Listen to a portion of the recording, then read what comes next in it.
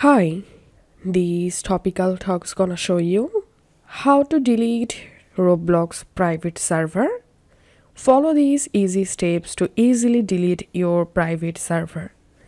Open Roblox and click on this menu and click on inventory and here scroll down and hover over on private servers and click on my private servers and here you will get all of your created private servers.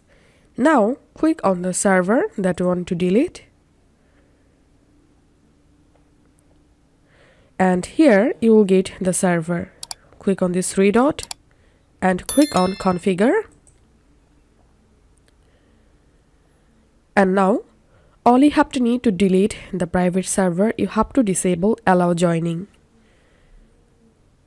Disabling this makes the private server inaccessible for you and other users that you have invited to this private server.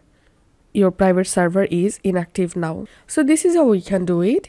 If this video helped you out, please leave a like and leave a comment down below.